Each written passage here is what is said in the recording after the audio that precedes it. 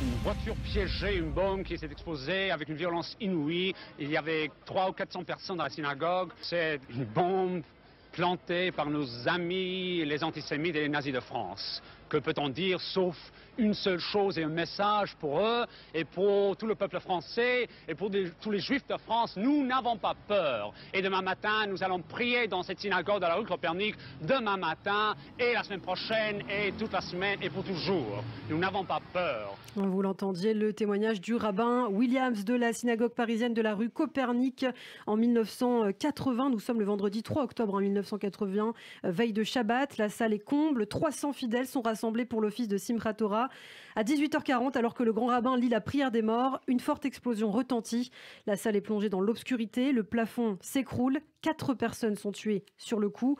Un attentat terrible vient donc d'être commis euh, ce matin. Donc 41 ans après les faits, nous allons revenir sur cette explosion, sur cet attentat et ses conséquences judiciaires, hein, loin d'être terminées encore aujourd'hui euh, en 2021. On fait le point ce matin avec vous, Christophe Darin. Tragique journée que ce 3 octobre 1980, 10 kilos de peintres dissimulés dans la sacoche d'une moto garée dans la synagogue viennent d'exploser. La verrière de la synagogue s'effondre sur les fidèles. Une des portes est soufflée. Des voitures dans la rue sont sur la chaussée, les devantures de magasins soufflées sur 150 mètres. On l'a donc dit, l'attentat fera Quatre morts, un passant, un motard, le gardien du bâtiment d'en face et une journaliste israélienne, Philippe Bouissou, Alisa Chagrir, Jean-Michel Barbet et Hilario Lopez Fernandez. Une quarantaine de personnes sont également blessées. Hein. Un bilan qui aurait pu être bien pire car déclenché trop tôt, l'explosion a permis d'épargner les fidèles qui se trouvaient dans la synagogue. Très vite, hein, la France pense à la responsabilité de la droite nationaliste. oui, particulièrement euh, aussi après ces mots terribles hein, de Raymond Barre sur TF1. Cet attentat odieux voulait frapper les Israélites qui se rendaient à la synagogue et a frappé des Français c'est innocent qui traversait la rue Copernic.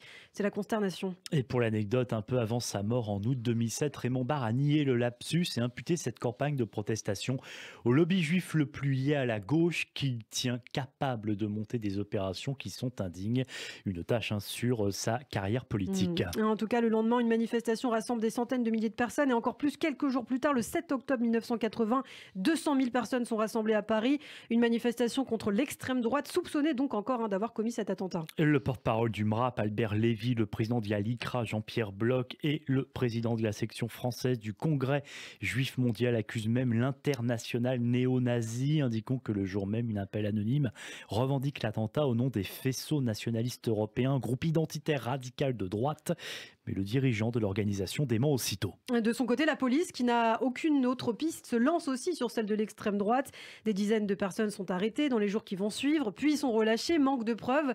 En fait, bien loin de la piste de la droite extrême, on enquête désormais sur un groupe terroriste arabe. Et fin novembre 1980, la police allemande livre en effet un élément clé aux Français, le commando de la rue Copernic, qui était composé de cinq personnes qui, juste après l'attentat, sont reparties dès le 4 octobre dans un aéroport parisien pour Beyrouth. Des indices concernant l'identité de deux de ces personnes sont transmises également. Et si les auteurs de l'attentat n'ont pas tout de suite été retrouvés, la police a pu toutefois établir un portrait robot euh, du poseur de bombes hein, grâce à une prostituée avec laquelle l'assaillant euh, aurait passé la nuit. Le terroriste est donc un homme moustachu, serait un homme moustachu de type arabe d'une taille d'environ 1m70, présent au moment de l'attaque. Et un homme muni d'un passeport jordanien qui s'était doté lors d'une escale à Chypre d'un permis de conduire et d'un faux passeport chypriote au d'Alexander Panadriou et euh, avait acheté à ce nom la moto utilisée pour l'attentat. On arrive enfin à voir la vraie identité du principal suspect, Hassan Diab, c'est son nom d'origine arabe palestinienne de nationalité canadienne. Considéré comme le chef du commando, il a été identifié grâce aux archives du FPLP, le Front populaire de libération de la Palestine, transmises par l'Allemagne à la France et aussi donc à, l'enquête sur la moto Suzuki utilisée pour l'attentat. Et le 8 octobre 1981, à l'aéroport de Rome, la police de l'air et des frontières italiennes arrête un groupe d'Arabes palestiniens en provenance de Beyrouth et transmet à la justice française ce fameux passeport utilisé par Hassan Diab et dont la photo ressemble au portrait robot. Mais ce qui est assez euh, incroyable, c'est que ce dernier va vivre des jours paisibles avant d'être finalement arrêté à Gatineau, au Québec, en 2008, soit 28 ans après les faits, dans le cadre d'un mandat d'arrêt international lancé contre lui, grâce à un certain Marc Trévidic. Les charges contre lui reposent alors sur plusieurs éléments historiques. Le portrait robot, une analyse graphologique soulignant que l'écriture de Hassan Diab est similaire à celle d'une fiche d'hôtel, et puis donc son vrai passeport retrouvé à Rome sur le neveu de Selim Abou Salem, dirigeant de l'organisation terroriste FPLP, cela montre qui est bien entré en France le 20 septembre 80, reparti le 7 octobre de la même année, tout comme le mmh. commando.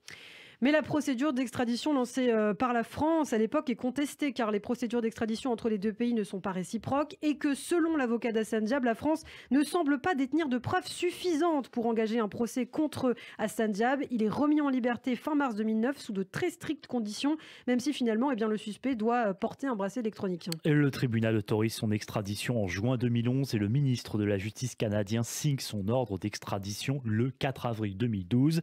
Hassan Diab hein, fait appel de cette décision, la Cour suprême du Canada refuse le 12 novembre 2014 la demande d'autorisation d'appel, ouvrant la voie à sa remise aux autorités françaises.